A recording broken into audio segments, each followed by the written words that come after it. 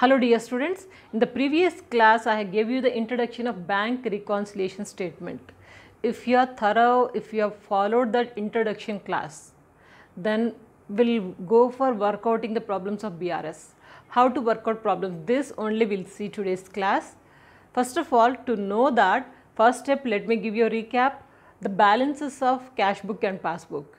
Cash book always shows debit balance if it is credit balance means it is the overdraft and passbook shows always credit balance. It is a favorable balance. If the passbook is showing debit balance means it is unfavorable or overdraft that you have to remember. And uh, now second point is that when does the difference comes in the cash book and passbook? If there is any difference then only these transactions will be taking into the preparation of bank reconciliation statement. These are the main important points you have to remember. Now for preparation of bank reconciliation statement always they will give you some balance cash book balance or passbook balance they will give you. You need to be very careful that what is that balance? Is it a debit balance or credit balance? Cash book debit balance favorable, cash book credit balance unfavorable overdraft passbook credit balance favorable. Passbook debit balance unfavorable. Like you have to identify with that balance will be starting the bank reconciliation statement. Okay? Now small transactions have taken only 5 transactions. Bank balance as per passbook 5500 is given bank balance as per passbook. Simply they said bank balance. They did not say debit balance or credit balance. Let us assume that it is a credit balance, favorable balance. So, we will start with this. For preparation of bank reconciliation statement, we need only three columns. First column is uh, particulars, amount and amount, inner column, outer column. Okay. So, we will give the heading of bank reconciliation statement.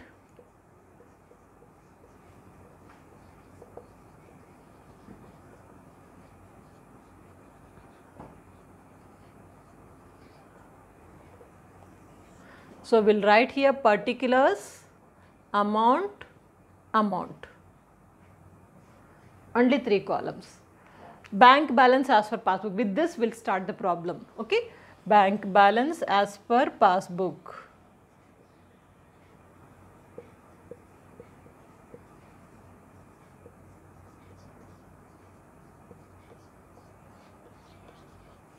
So, this balance amount we will write it in the outer column that is 5500.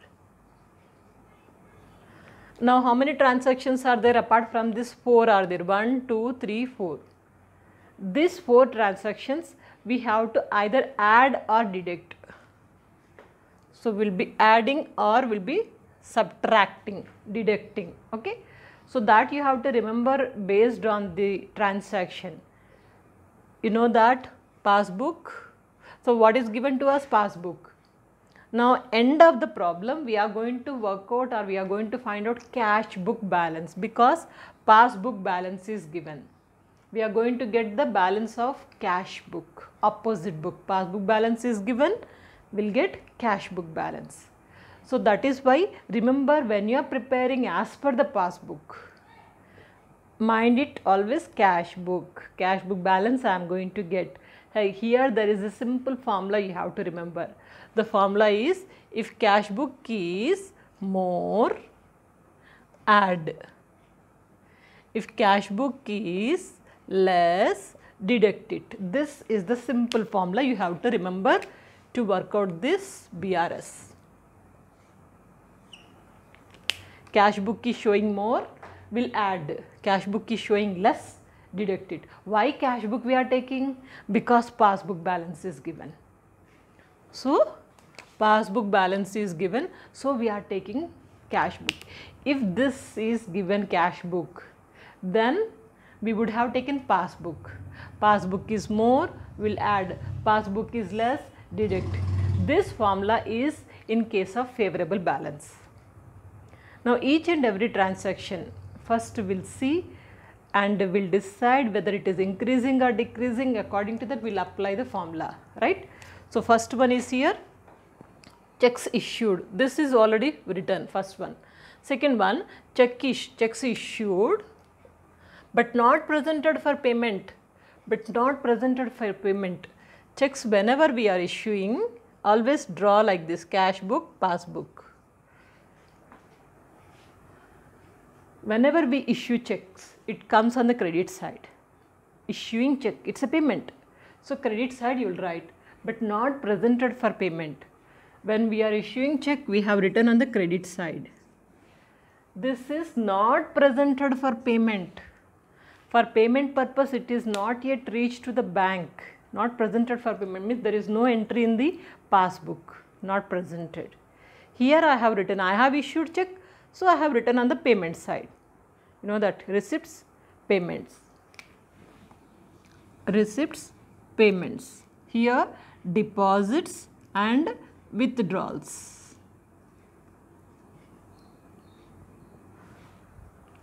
So 400 checks I have issued, it's not presented for payment.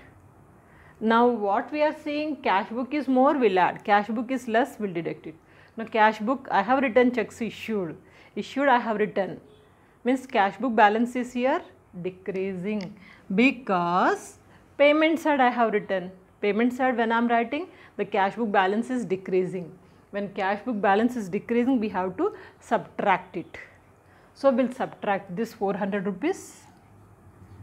Same transaction will write checks issued but not presented for payment. We will write here checks issued but not presented for payment.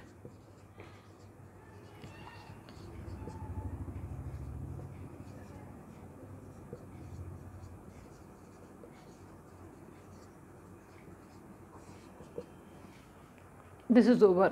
I'm clear? First you have to understand these two.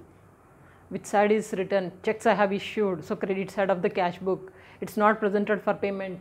Passbook withdrawal side not written. So this side I have written means cash book balance is decreasing. Passbook nothing is written. When cash book balance is decreasing as per the formula deduct it. So I have deducted. Clear? Next one. Checks deposited but not credited in cash book. Checks deposited but not credited. Checks whenever we are depositing, when we deposit, we assume that I am going to get cash because deposited. So I have to write it on the debit side. Which one? 300 rupees check. I have written in the cash book but not credited in the passbook. In passbook it is not credited. No entry in the passbook, it is not credited. But in cash book I wrote it. I got a check, I have deposited, so I am going to get the money. So written on the debit side of cash book. So cash book balance is here increasing. Debit side I have written checks deposited but in passbook no entry. Cash book balance is here increasing. When it is increasing, cash book is increasing means to be added. Say along with me, it will be easy for you to remember, easy to grasp the subject. Okay, cash book is increasing, so we have to add this. We'll add here. So I have written already add and deduct. So what we have to deduct? Here I am going to write. Adding items here. So checks deposited but not credited in passbook. Same as it is will write checks deposited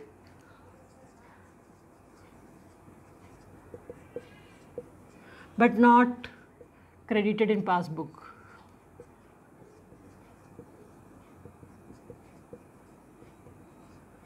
PB I'll write. PB means passbook. Just 300 rupees. Over. Next this fourth one transaction we will see bank charges debited only in passbook.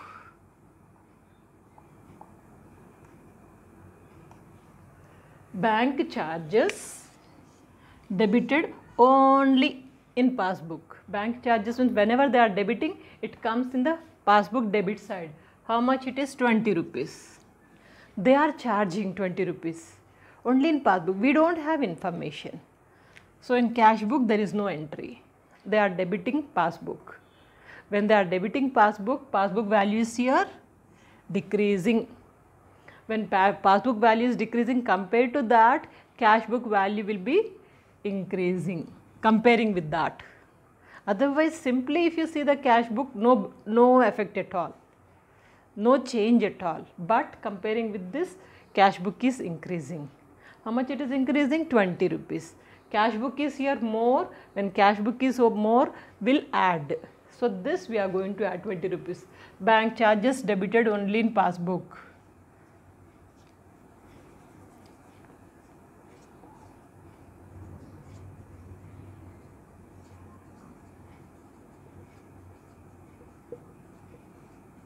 Debited in passbook.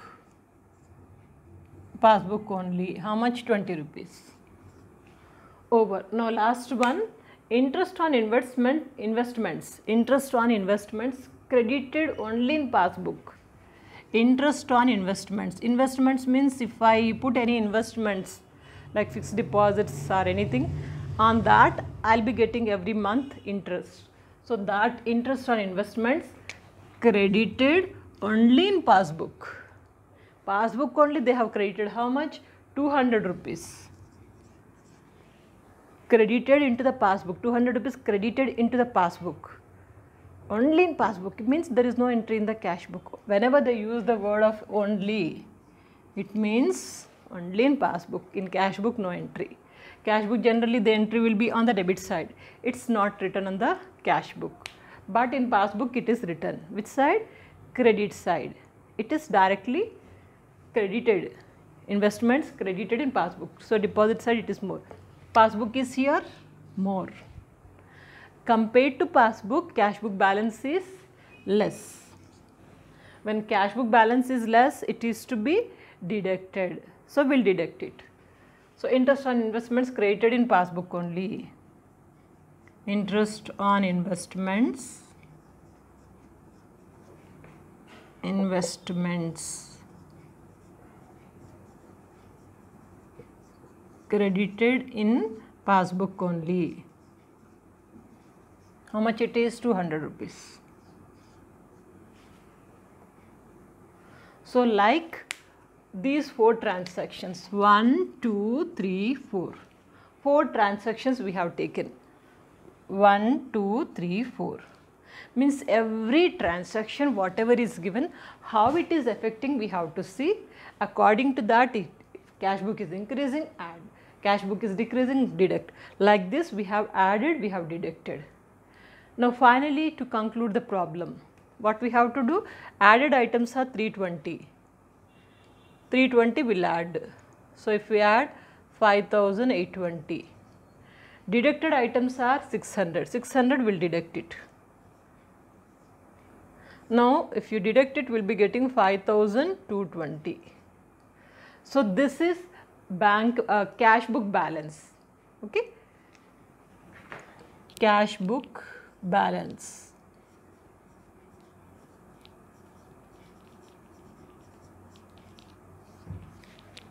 five thousand two twenty. So this is the problem. Simple problem nothing to worry. So you can note down or take a screenshot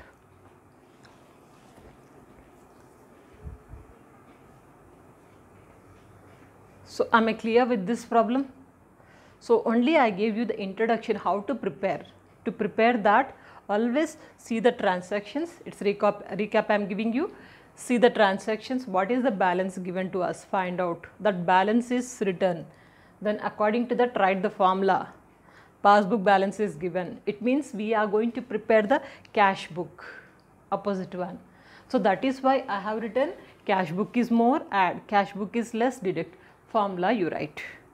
For each and every transaction you just draw like this. It will be very clear for you to understand which book is increasing, which book is decreasing, which side is written, which side is not written that you will come to know. Like you have taken 4 transactions, which side is increasing, decreasing and you are seeing only the cash book point of view. Cash book is increasing, add, cash book is decreasing, deduct. That's it, simple problem. In the same way, a little bit variations, a little bit vast transactions, you will find this kind of transactions that we will discuss in the coming classes. Please stay connected, understand the subject quite easy, nothing to worry.